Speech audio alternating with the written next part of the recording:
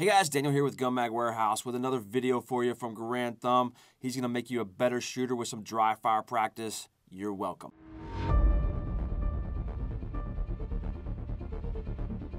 If you've ever shot your Glock low left and you thought it was the sights, but it was actually you, go ahead and hit that subscribe button.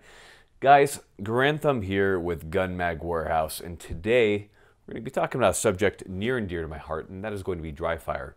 So the question is, what is dry firing? Well, you're going to take your firearm, you're going to unload it, make sure that it's clear and unloaded.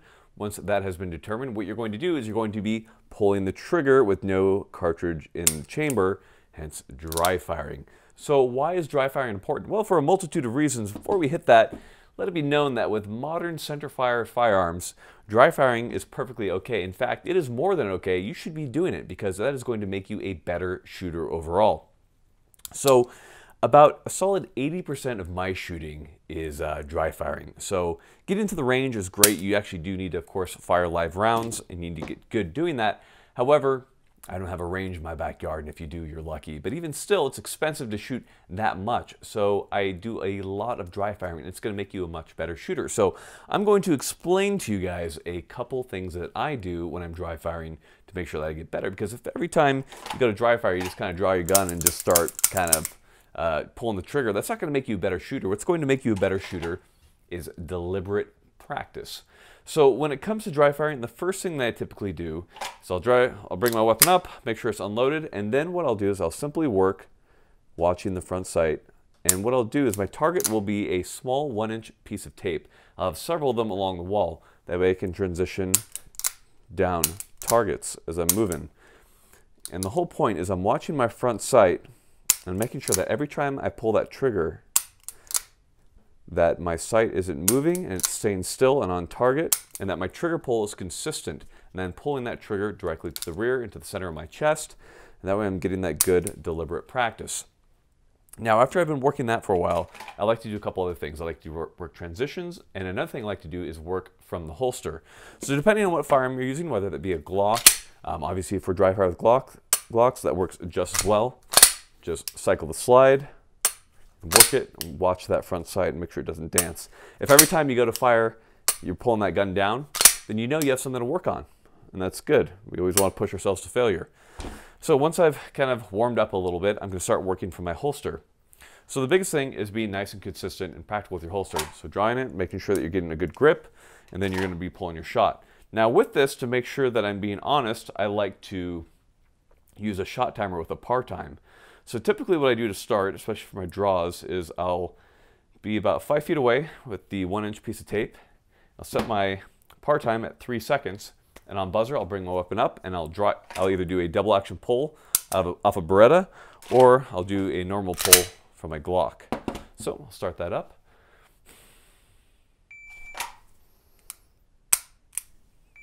So nice and slow to start.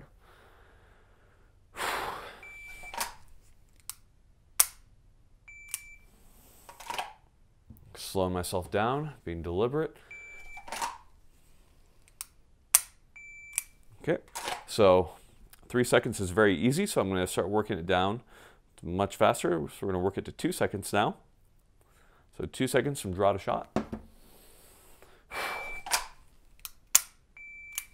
Okay, work that again.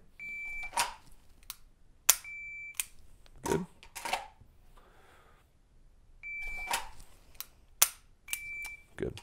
Okay, so once I've done that, I'm going to drop that time down to 150. I'm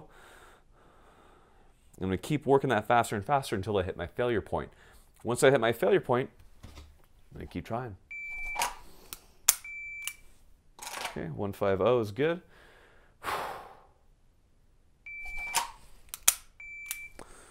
Okay, once I've hit 150, I'm going to drop that down.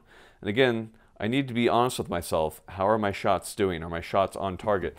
Now, if you're not sure, you can always use some type of laser bore sighting device. So in this case, I have the G-Sight laser training cartridge. So those work. You can insert those into your chamber, and then every time you fire, they're going to shine a laser. That way you can see where your shots are going.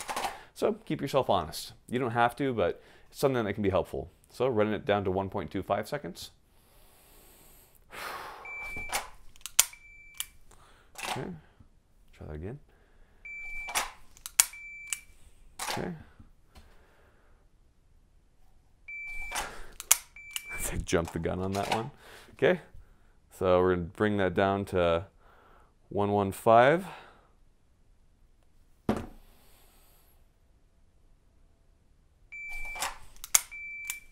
Okay, I think I can do this in one. So we'll just drop that down to one second flat. And the whole point is that I'm not breaking my shot, it's not drop or anything like that, and being nice and consistent.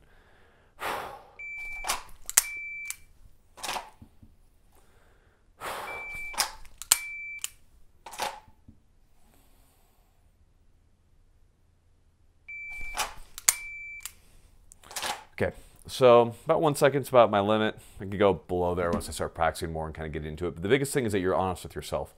Now, after I've worked a little bit of from the holster, what I like to do is I would like to work the reset. The reset is very important. So what the reset is, is every time you pull that trigger, you need to let that trigger forward a certain amount before it resets. So holding that trigger to the rear, let that trigger fall forward. There's my reset right there. So that is going to be something that's really important to work. So what I like to do is I like to take one target, I'll depress the trigger. Once I've done that, I'll cycle the slide, and then what I'll do is I'll work from the reset, I'll reset the gun, and then drop the hammer. So what's important to do here is a lot of people, when they work resets, they're hitting the reset, and then they're very slowly firing. However, when you're firing, if you want to get faster, you're working that reset really quickly. So what I like to do is I like to really work that reset like I would in fast fire. And that's going to get you significantly better when you start working that. You can do that with Glocks as well.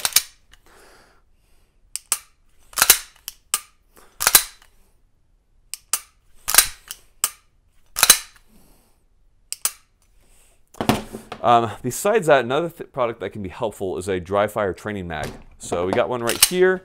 It's called the dry fire mag. You're to insert it. Once you pull the trigger the first time, it's then going to then work off the magazine itself, and then you can work those shots and work those resets, and that is a good product. There are also other products like the SIRT pistol trainer.